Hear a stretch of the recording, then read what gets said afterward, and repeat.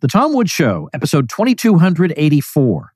Prepare to set fire to the index card of allowable opinion. Your daily dose of liberty education starts here. The Tom Woods Show. Folks, creating an online course can be an excellent way of establishing yourself as an authority. It's also a great first product. And if you know what you're doing, it can generate you some real smackers. But how do you do it? Well, I have a teensy weensy bit of experience with online courses, and I put together some material that takes you through step by step exactly what to do and then how to market that course so people find out about it and buy it. Get these free resources at tomwoods.com slash make courses.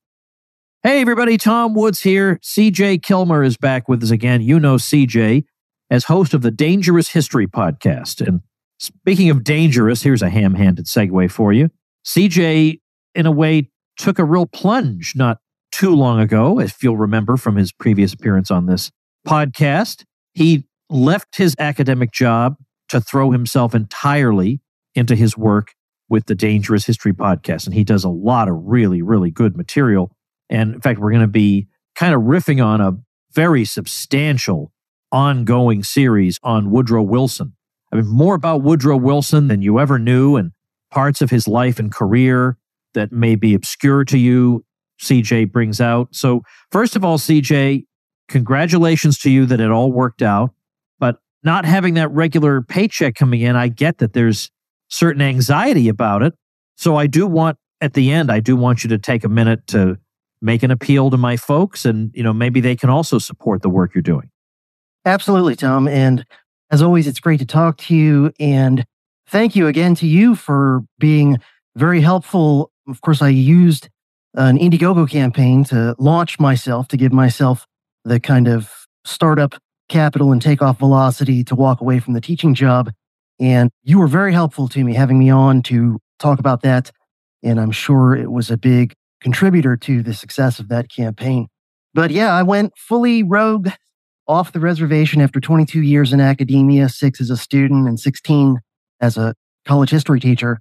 And yeah, it's been simultaneously very exciting and liberating and also terrifying because while my previous job didn't pay great, it paid predictably and steady. Yes. And, right. you know, it did have fairly decent benefits too. So yeah, yeah. But, you know, it's very liberating and I feel like I can, even more so than before, kind of take the gloves off and tell the truth as I see it, regardless of whose feathers it might ruffle. Well, let me add that I think some of the audience will know that a couple of times a year I have a house party. And I started this during COVID because I, along with you, live in a state where you were, in fact, allowed to socialize with people. How about that? And there was no arbitrary cap on that. And so I started that in the fall of 2020, and we had people coming, flying in from around the country, obviously not internationally, but around the country. And it was the first social engagement they'd had in six months, let's say. And I just decided I'm going to do this from now on. The only requirement to get an invitation to these parties is just to be a member in good standing of my supporting listeners program at supportinglisteners.com. And I want to point out that CJ will be among the guests. So there will be several guests whom I would consider, let's say, dignitaries, and CJ will be one of them. So that's April 29th. So if you join that little program, you'll get a little notification about it. All right, let's dig into our old friend Woodrow Wilson. Is it your opinion that Woodrow Wilson is the worst American president? Yes. As of right now, I would pick him as the worst. Although, if our current president succeeds in his apparent desire to launch World War III, he could very easily surpass Wilson. But as of now, I would say as much damage as Biden and many of our recent presidents have done, I don't think any of them has yet quite done the kind of cumulative long term damage that Wilson has. Now, to be yeah. fair, you know, we've got over a century to look at the ripple effects of Wilson's legacy on not just the US, but the world. And so, you know what? I guess it's possible that somebody like me 100 years from now might look back and go, wow, you know, Joe Biden or George W. Bush or, you know, somebody like that, if you look at the long term legacy of everything they did, maybe they're actually worse than Wilson. But yeah, as of right now, Wilson is my pick for worst of the worst.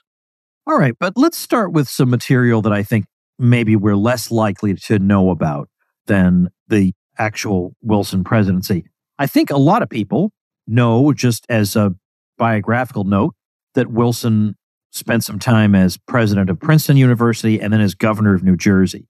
Is there anything in his tenure in either of those positions that would indicate for us, first of all, what his philosophy was, and secondly, what was to come as president of the U.S.? Yes, for sure. And for any of your listeners who are not familiar with my show and my work, I'm currently working on a multi year project that I think I made the first episode of all the way back in 2019. And it is a super detailed deep dive into the life and career of Woodrow Wilson, all the way from you know his childhood on up through his presidency and everything in between. And I just recently, by the way, put out part 10 of that series. And part 10 was, I believe, five and a half hours long. Oh my so, gosh, man. See what I mean, people? This is not a guy who's dishing out 10, 15 minute podcasts. He's putting enormous amounts of elbow grease into this to give you the whole story. All right, go ahead. Yeah, because lots of well read libertarians, they know a lot of the reasons why Wilson was bad. But as I found when I started to really dig into him, there's so much more that even most well read libertarians don't know as far as just terrible things about Wilson. So, yeah, this has been a real labor of hate for me. And I, have I've become kind of notorious as like the number one Wilson hater in our milieu. I've and, never heard that expression. Yeah. I love that. Okay. Yeah, yeah. And people now routinely on Twitter and things send me all their best Wilson hating memes, you know, because they know I'm the guy for that. Yet the interesting thing about Wilson is that he's the only president we've ever had who's held a PhD degree. And he was in academia for, I believe, approximately three decades before he ever ran for political office. So you can actually get a window into Wilson's political philosophy that you just cannot get on any other president we've ever had. You know, a few of the presidents we've had wrote some books and things before they were president, like Teddy Roosevelt wrote a fair amount of stuff. But Teddy Roosevelt, to my knowledge, never sat down and wrote like hundreds upon hundreds of pages on political philosophy and political science like Wilson did. So even before he was president of Princeton, when he was just a regular professor, he was writing books and articles and things. And when guys run for the presidency, they'll often put out these little ghost written campaign biographies and manifestos and whatever like that. And of course, anybody who reads those thinking they're going to learn anything important or even true is probably crazy. But with Wilson, we've got this big body of work that he produced when he was an academic, when he wasn't even thinking about running for political office. And so, unlike something that a professional politician puts out, if you look at Wilson's academic writings, it is reasonable, in my opinion, to presume that he's expressing his true beliefs because he was a tenured professor and then president of Princeton University, and he wasn't running for office. So, presumably, what he says in his academic work is what he really believes. And so you don't have to take it with a grain of salt the way you would, you know, someone's campaign ghost written book or whatever. So, what do we learn about, for example, his view of the presidency? Do we learn something about that in his academic work? Yeah, he actually kind of shifted on that. When he first started as an academic, he believed that the Congress was the key to reforming the government in the ways that he would like, which, you know, later come to be known as progressive. And so, you know, he's probably influenced by just the general Gilded Age era, 1870s, 1880s, when the Congress was generally kind of more powerful and had more of the initiative. And the presidency, you know, was occupied by relatively restrained presidents for the most part. And so I think because of that, Wilson initially was like, oh, yeah, the Congress is the key. And he had these ideas to basically reform the Congress to make it more like the English Parliament. So there'd be fewer checks and balances and things like that. But then over time, by the later 19th century, he seems to have shifted and decided that the presidency was the key and should be like more equal than the other branches of government. There's a somewhat notorious quote by him where he says something like, you know, the president is the only national voice in affairs and let him win the you know, belief of the people and no one can stand in his way. Something like that, that almost sounds a bit proto fascistic. But that was later on in his career. So I did a huge multi hour episode a couple of years ago where I just went through his academic writings and, you know, put together a big long presentation about the high points and low points and whatever. Because even a lot of Wilson biographers don't seem to have looked at his academic writings very much. And so there's a lot there that's very interesting. You know, there's a school of thought amongst libertarians who know that Wilson's a bad guy and they want to pin all the blame on Edward Mandell House. And I think House deserves some blame for some things, and I'm certainly someone who thinks House is a villain. But if you go back and read Wilson's academic writing, and, and these people, by the way, who want to blame everything ultimately on House and the powerful Anglo American elites House represented, they basically act like Wilson was an empty suit, you know, was a blank slate as far as his ideas. And then House just came in and told him what to do when he started running for president. But the reality is, if you look at Wilson's academic writings, he already believed all the sorts of things that House did as well, that House wrote about in that book, Philip Dru Administrator. So it wasn't that House discovered a blank slate named Woodrow Wilson and then told him what to, you know, push for politically. It was more like House found a guy who already believed 90% of the same things House did. And so he goes, all right, this guy will be a good guy to work with. Right, right, right. But not to mention, what is the likelihood that the president of Princeton University, who's done academic writing on American government and then governor of a U.S. state, is actually a blank slate? You know, Yeah. not plausible. Yeah, yeah, exactly. And then there's also kind of a more academic establishment view of Wilson that he wasn't really much of a progressive, that he was like a, you know, Southern conservative or whatever. And my take on that idea that Wilson was actually like some, you know, traditional Southern Jeffersonian is that if you look at most of his academic work, he does not at all sound like that. He sounds, if anything, like a hardcore Hamiltonian and Lincolnian on most issues. Yeah. And my take is that when he started to think towards the latter part of his academic career, when he started to think about maybe running for political office, he was savvy enough to know that a lot of his progressive ideas, a lot of which is really based on continental European statism, like Hegelianism and things like this, Wilson knew that a lot of those ideas were directly contrary to sort of most traditional American political science. And so my take is that what he did was he figured out a way to express these very kind of Eurostatist ideas in language that sounds Jeffersonian. And so in some of my episodes, I've covered some of his speeches where there was a speech he gave, and I'm blanking on the exact venue, but it was pretty soon before he launched his political career. He was invited by some prominent Democrats to speak at like the Thomas Jefferson Day dinner or whatever that they do. And he basically went in there and basically argued that like Thomas Jefferson's ideas were no longer relevant to America. Because of course, as a progressive, he believes there are no like eternal truths or principles or anything like that. And so, you know, he sort of praises Jefferson, but then quickly pivots to, but Jefferson was a man of his time. And so the specifics of his ideas are not really appropriate to our era because he believed very much that there's what he sometimes called the spirit of the age and that, you know, ideas, political principles, institutions, whatever, they should never be timeless and fixed, but always changing and evolving with the spirit of the age. And of course, who knows what the spirit of the age is? Well, the answer is enlightened, progressive intellectuals and politicians like Woodrow Wilson. So basically, my argument is he melded his progressive principles, or he camouflaged them, maybe is a better way to put it, with Jeffersonian sounding language.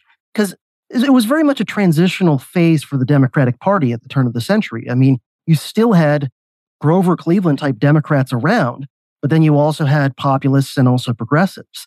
And so if Wilson wanted to be a successful national Democratic Party figure, he needed to figure out a way to kind of, to some degree, tell all three of those factions what they wanted to hear or to couch it in a way that they could all kind of Rorschach what they wanted to hear onto it. So a Grover Cleveland Democrat might hear his speech and, you know, interpret it one way and go, oh, this is, you know, an old school regular Democrat like we're used to.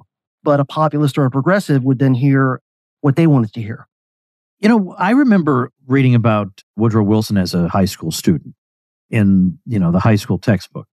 In fact, I remember when I used to have to teach this in college and they made me use a textbook. Oh, textbooks are just the worst anyway. They're, they're boring.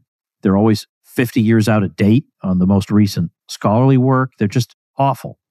But I remember the way the 1912 election was portrayed. You know, it was portrayed as, you know, a wild, like a crazy conflict between two wildly different people. I mean, I'm thinking about the two who really are significant here in, the, in American life in the early 20th century. I'm talking about the alleged massive differences between Woodrow Wilson and Teddy Roosevelt. Now, we're told that these were just massive. They were so different. And Teddy was way different from uh, Wilson. But this alleged massive difference between them is the kind of massive difference these same people pretend to see between Mitt Romney, you know, and whoever the, you know, Joe Lieberman or something. I'm sorry, I don't see the really big difference. So with Wilson and, and TR, yeah, maybe they would, their foreign interventions would occur for different reasons, but they would still have them. Or maybe one of them wants to regulate big business one way and the other wants to regulate it some different way. Okay, that's the huge, massive difference between them. I don't buy this. I mean, what do you think? Am I wrong? Am I oversimplifying things? No, I would agree with that. That the clash between Woodrow Wilson and Teddy Roosevelt, it was primarily rhetoric and kind of personality and style. So, you know, Teddy Roosevelt has this macho persona and this kind of bombastic style, and especially on foreign policy, he's got very belligerent rhetoric. And then you've got Woodrow Wilson, former college professor, and, you know, sort of nerdy and all that sort of stuff, does not have this, you know, reputation as a cowboy and a hunter and a soldier in the Spanish American War. And, you know, a lot of Teddy Roosevelt's persona was more fictional than real, but that's, you know, at least some of it was based on real stuff. And so, yeah, you had this very contrasting personal and rhetorical style. And as you were saying, there were slight differences on the exact details of how they thought that the progressive corporate state should operate. You know, they did disagree on exactly what the relationship should be between the state and corporations and all that sort of stuff.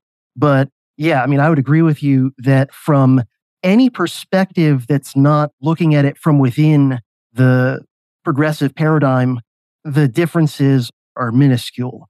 So I think a big part of the reason, though, why it's usually interpreted that way, especially in things like textbooks, is for the simple reason that the overwhelming majority of academic historians, since at least about the 1890s, have been themselves progressives. And so if you're a progressive, whether you're a like a 1930s progressive writing about the 1912 election, or you're a 1960s progressive, or you're a more recent progressive, regardless, you're coming from 95% chance you're coming from a progressive perspective looking at this election. And so it's one of those like tyranny of small differences kind of things, you know, in the same way that like two different camps of Marxists will bitterly disagree with each other almost more than they would disagree with someone of a totally different ideology or the way that, you know, two factions, two different, you know, like Sunni and Shia Islam will fight bitterly. And yet to an outsider of a completely different religion, they're looking at it going, what are you guys even really arguing about? So that, that's how I would see it. There's so many things, obviously, we'd say about Woodrow Wilson. We, I mean, we could, oh, we could get into World War One. We could get into the domestic side of things. But I want to just make sure and clarify something because every once in a while, sort of in libertarian circles, but often more in, let's say, Alex Jones style circles. Now, not Alex Jones himself, but sometimes some of his followers. You'll see people trying to say that Woodrow Wilson regretted creating the Federal Reserve, and they quote him as saying that he has done something awful to his country and indicating his regret. But this is a fake quotation. He was proud of creating the Federal Reserve. I think the reason people go for this is that there are some of us who don't want to have to face the reality, which is that we're alone here. There is no crusading president who was trying to swoop in and rescue us, but he was unfortunately put upon by the bad guys. I'd like to believe that. That's a much more comfortable thing to believe than to believe that they're all in on it. But unfortunately, I think that's rather the case. Yeah, that quote that's repeated in some conspiratorial circles. If I remember right, I think it's kind of a mishmash of something he did actually say, but in a completely Yes. different context. Right. And then something either from like years later or that was even fabricated and then put together in a way to give a very misleading impression. So, yeah, I have read a gigantic pile of documents about Wilson, biographies, secondary literature about related topics like World War One and the Progressive Era. And I've also read piles of primary sources related to all this. And I have never come across the slightest shred of verifiable evidence that Woodrow Wilson ever regretted in any way being the president who signed the Federal Reserve into law. And it sort of reminds me of the way that a lot of those same people will also claim that John F. Kennedy was intending to get rid of the Fed, and that's the real reason that he was assassinated.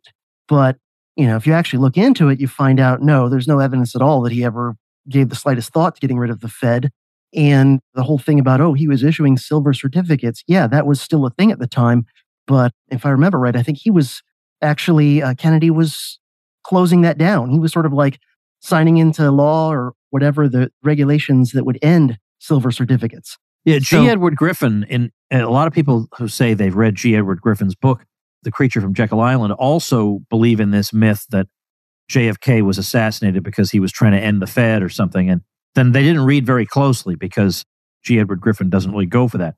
I was also wondering, I could have sworn I had seen a biography of him, but now I can't find it. Are you aware of a biography of Edward House, Edward Mandell House. We call him Colonel House. That was just an honorary title. He was kind of, as you mentioned, Wilson's alter ego, this shadowy figure in the White House. Is there a biography? I mean, his papers, I think, are available. Yeah, there's one that I read years ago. I actually did an episode very early on in my podcast many years ago about Colonel House. And I'm trying to remember. There- It's hard to find. If it exists, it's hard to find. You type in his name and biography, and you just don't get anything. I mean, I know there has to be one somewhere, but I remember if there is one, it was written in the past 25 years because I remember talking to Murray Rothbard himself, and he said to me, It is very odd that we have this man who, behind the scenes, as you say, he didn't necessarily plant the ideas in Wilson's head, but he was a very significant figure in a mover and a shaker, and we haven't got any biography of this guy. Yeah, there was one that I read all those years ago. I don't think I still have it. I might have even gotten it from a library or something, but I want to say the title was something along the lines of Woodrow Wilson's Oh, right hand or something. I'm looking at it right now, but it took a while to find it. Yeah. Colonel House, a biography of Woodrow Wilson's silent partner. Hmm. There we go. I don't know if that maybe that wasn't the one, Maybe it wasn't. I don't know. No, I'm not so sure. but it's just odd. I mean, like there's almost nothing on this guy. I mean, that is very strange. Yeah. Yeah. Well, what I will say about Colonel House is first off, he is an archetype example of a figure that you find in most presidential administrations, and some presidential administrations will have more than one guy who sort of fits this type. And he's what I would refer to as a man behind the curtain.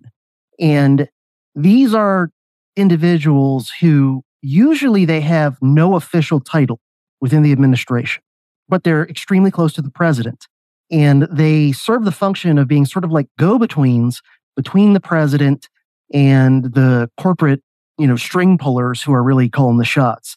And so Teddy Roosevelt had one of these, a guy named George W. Perkins, who was literally a business partner of JP Morgan and one of TR's closest advisors as president. And so, you know, during Teddy Roosevelt's presidency, JP Morgan was super notorious, mostly in a negative way in the United States. And so if JP Morgan himself is frequently meeting with the president and advising him, everybody in the press and everywhere else is going to know about it. But, you know, an obscure business partner of his that the public really doesn't know can come and go. And House basically performed a similar function for Wilson. He was plugged in to not just the American, but the British kind of power elite, financial elites, that sort of thing. And so he performed that man behind the curtain function. And based on my research, where House probably had the most influence, because like I was saying, Wilson already believed you know, all these progressive ideas that House did before the two of them ever met. But where I think House changed Wilson the most was in regard to World War One, because I think House was probably the most important figure in gradually pulling Wilson around to the idea that the U.S. should get into World War One. So that'll be probably my next regular Woodrow Wilson episode that I'm going to make is going to be all about the time span from the outbreak of World War One in the summer of 1914 until Wilson got the country in the war officially in the spring of 1917. And so covering like how much the US was not really neutral during that time period and how much things were being manipulated to bring the US into intervening. And again, based on all my research, my belief is that when the war initially broke out in Europe and Wilson initially started making proclamations of neutrality and saying the US wouldn't get involved, I believe he was sincere initially in that belief and that desire. I think somewhere along the way, he continued to say those things publicly, but he no longer believed them and he was essentially lying to the public. You know, clearly by his reelection campaign, he kept us out of war. He had already made the decision that he was going to get the country into war probably after getting reelected. And so I think it was probably somewhere between the outbreak of the war and the aftermath of the Lusitania, somewhere in there, he made the decision in his mind that he was eventually going to get the US into the war when it was politically opportune. And I think where House probably deserves more blame is there because I think House, whose you know father was an English immigrant to the United States who became like the richest guy in Texas or something, and House continued to have close connections with the British elite. I mean, House was a guy who, when he would vacation in England, he'd be like having lunches with dukes and, you know, could even get the occasional meeting with the king. And, you know, was buddies with a lot of the British, you know, City of London financial elites.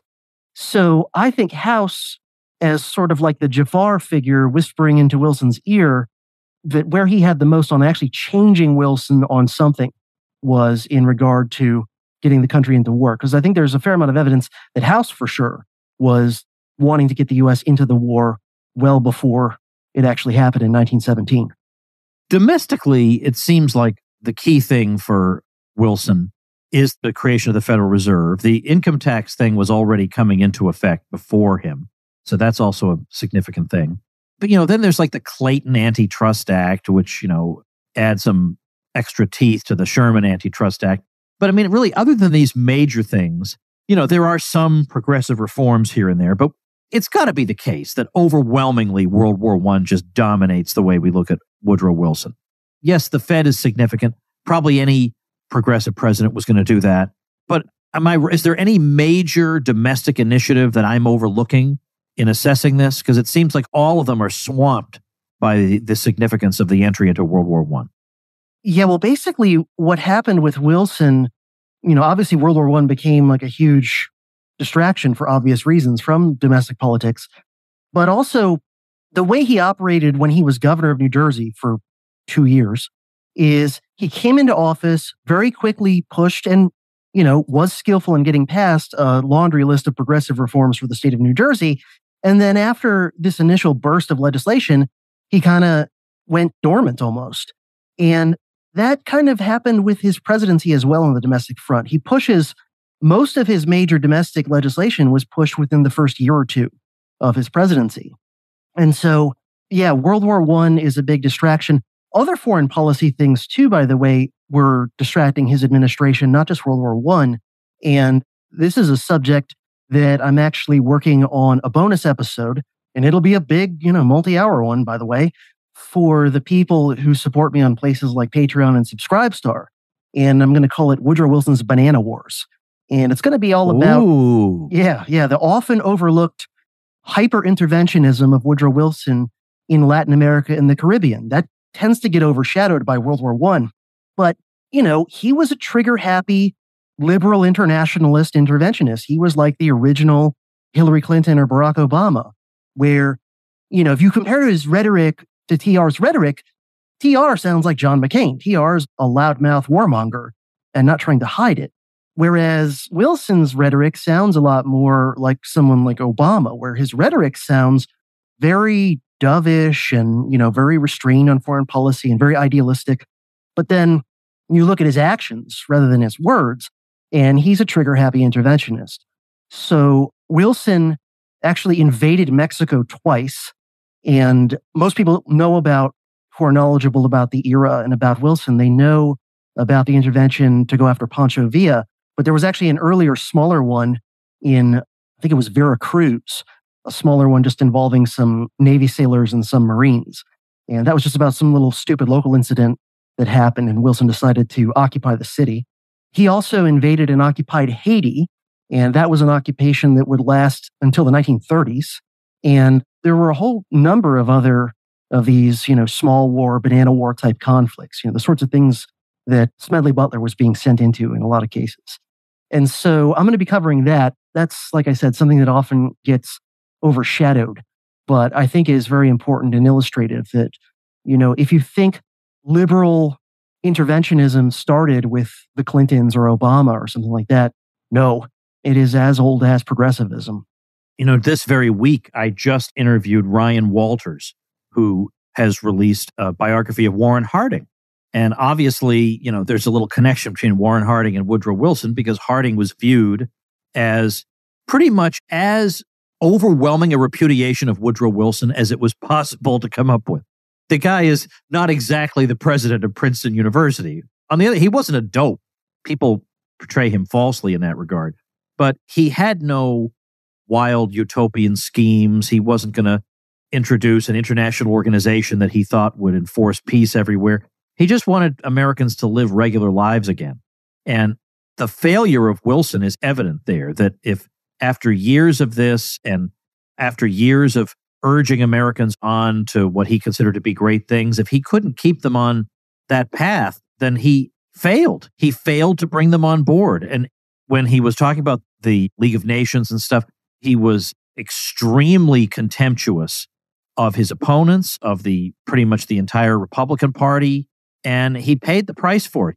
I don't know if he thought just through his force of sheer will he could get what he wanted, but somehow he had failed to get the American public to think this was something worth doing. And so he winds up after 1920 seeing the White House. Well, I mean, of course, he was in terrible health, but seeing the White House taken over by a guy who had very few international ambitions. Yeah, Warren Harding is one of my favorite presidents for sure, you know, or least terrible presidents or something like that. And yeah, it's partly because he very much was like the anti Wilson. I mean, if you just think about his famous campaign slogan, right? A return to normalcy. Well, what's he yeah. really saying with that slogan? He's basically signaling to the voters, I am not a progressive. We have had nothing but progressive presidents basically since Teddy Roosevelt was there. I mean, I guess you could right. argue Taft was like progressive light, but whatever. But he's basically coding like, hey, are you tired of all these constant reforms and things and moral crusades and World War One and you know all these things? And of course, the implication is that that's abnormal. Yeah. And if you're tired of being abnormal, I'm just the guy. Yeah, yeah. And my recollection is that Harding was elected in a pretty significant landslide in 1920, which, you know. Yes, yes, indeed. The popular vote and the electoral vote. Yeah. Yeah, yeah. So a big part of it is all the stuff that went along with World War One, because the US was only in the war officially for less than two years. And, you know, overall, the American body count in that war wasn't gigantic. It was a very small fraction of the Civil War's body count, and you know, not even anywhere near as much as the American body count in World War II would be. But it's a part of it that, again, I think sometimes gets overlooked that I plan to delve into a lot on my podcast is that the Wilson administration went authoritarian at home very hard and very fast in a way that's never quite been replicated. Even in World War II, there was a bit more restraint on like suppression of domestic civil liberties. And so the US is in the war for less than two years, and yet there's draconian censorship. There is massive amounts of state propaganda. And famously, there's military conscription. And then there's also other suppressions of civil liberties to try to back that up, such as the infamous Espionage and Sedition Acts, which criminalize free speech. And thousands of Americans, some famous people and some not, did federal prison time just for giving a speech. And incidentally, as long as we've brought up Warren Harding, it was Harding who let Eugene V. Debs go. Right. Not Wilson. Wilson absolutely, resolutely refused. Every time it was put on his desk, he would deny it. And he wanted Debs to just rot in prison, from which he ran for president unsuccessfully, we might add. But it was Warren Harding who very simply said, basically, these people never meant any harm. And he said, I wanted him to have his Christmas dinner with his wife. The way a normal human being who doesn't politicize all of life thinks. Yeah. And that's even despite the fact that Debs was the most famous socialist in America and Harding was very much not a socialist. But like you said, he was a decent human being. And yeah. And by the way, in that speech, it's a very interesting speech to read, the one that Eugene Debs got arrested Oh, in trouble for. for? Yeah. Yeah, yeah. And Eugene Debs is my favorite socialist in American history just because he was such a boss on the war issue. But he knew that he was being surveilled by government agents and they were basically just looking for him to step wrong so that they could lock him up. And yet he went and gave that speech. I think it was in Dayton, Ohio. He basically knew when he walked in to give that speech, he's like, they're going to arrest me, but I'm going to say what I want to say anyway. So I, I have huge respect for him for that. And in that speech, he said things like, American boys need to know that they are fit for something better than slavery and cannon fodder. Now, think about Woodrow Wilson locks a man in federal prison, a peaceful political activist and an old man, locks him in federal prison for telling American young men that they're fit for something better than slavery and cannon fodder. That is speech that is not protected under the First Amendment, according to Wilson. So, yeah, that really shows you the caliber. And there's there's all the oh, I'm trying to remember this. Is it Schenck v. United States, the famous case where the Supreme Oh. Court basically said, Shouting fire in a crowded theater, that one? yeah, yeah, yeah, where basically they argue that handing out flyers and things like that against the government's policies is tantamount to virtually waging war on the United States and you know basically rubber stamping the idea that the first amendment doesn't apply during an emergency. Yeah. And of course, the logic behind all that is all wrong. You know, as Rothbard pointed out, and other people have pointed out, the issue of shouting fire in a crowded theater just boils down to property rights. If you shout fire in a crowded theater and it's, there's no fire, then you're disrupting a performance and therefore you're violating the rules on somebody's property. We don't need any special exception to the rule of free speech to cover shouting fire in a crowded theater. Property law already covers that. You know, these are the rules, my theater, my rules. So we don't need to have these various exceptions. Did you happen, this is a little bit of a tangent, but did you happen to hear that Roger Waters of Pink Floyd spoke, ad- addressed to the uh, UN Security Council the other day? No, no. I think the last thing I saw about him was that one of his former bandmates was criticizing him for criticizing NATO's yeah. policies. But Yeah, of course. Yeah, David Gilmour is just hopeless. And Waters has his own problems, personality problems, I'll grant you. But he's dead right on this. And even though, yeah, he's on the left, but he's on the hard enough left that he doesn't get taken in by Joe Biden rhetoric, you know, and, and I can respect that. And somehow he was able to deliver remotely an address to the UN Security Council. It's on YouTube. And it recalls the language and the idioms and just the way of speaking that we see in the Eugene Debs speech. He said exactly what you just said. Basically, the way he put it was we are the voiceless majority, and we do not want to be cannon fodder for your wars. It's not exactly the speech I would have given, but it's much better than anything else you're hearing in that UN Security Council these days. So, of course, everybody immediately attacked him. Doesn't he know we have these 12 talking points from the Pentagon? Hasn't he read them? That, that kind of thing.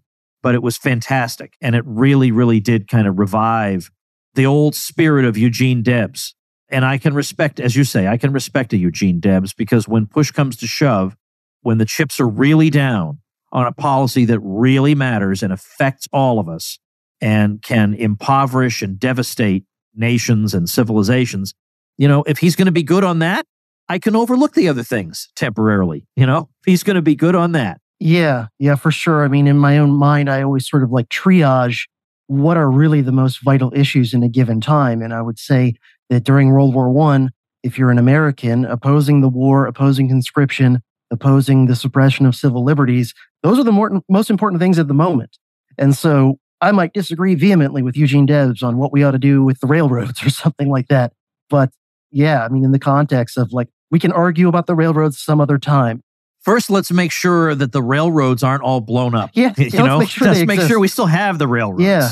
I very much agree with our mutual friend Scott Horton that avoiding nuclear annihilation should be first, second, third, fourth, fifth most important thing on everybody's list if people were actually sane and thinking rationally and not so heavily propagandized. I mean, that shouldn't even be something that you have to think very hard about, that everything else is on the back burner compared to the possibility of nuclear World War III. Where do people find? Obviously, they can go to a podcast app and type in Dangerous History Podcast, but where else would you like to direct people who might be interested in following you? Sure. Well, if you just want to go to the homepage of my website, you can just put in dangeroushistorypodcast.com and look at my back catalog there. Also, I want to mention that people can support me. Currently, I'm on Patreon and Subscribestar, potentially some other venues down the road I might be on, but that's what I'm on right now. And they can sign up to support me there and get a big variety of perks depending on how much they contribute. Bonus episodes that aren't available to the public, like my upcoming Banana War, Wilson Banana Wars episode. Um, also, if they contribute a little bit more, they can access things like uh, monthly live streams with me. And also, I do a monthly book club over Zoom if someone wants to chip in enough to get access to that. So, yeah, I would very much appreciate the support there. I could definitely use all the help I can get because, as Tom was saying at the beginning of the episode, I am off the reservation. And one final thing I'll mention is I finally got around to doing something I should have done a long, long time ago, but better late than never. I finally started setting up a proper email list thanks to the inspiration and information from Tom. And Oh, so, anybody listening, you can go to dangerousbib.com, dangerousbib.com. And if you sign up with your email there to get emails from me, as a thank you, you will get my Dangerous American History bibliography, which Oh, yeah, it's a list of over 150 books recommended by me about various aspects of American history, organized by kind of topic area and with comments and annotations by me. And there you go. You get that for free just by signing up for my email list. Wow. Now that's a lot of work, but good for you. That is a really valuable thing.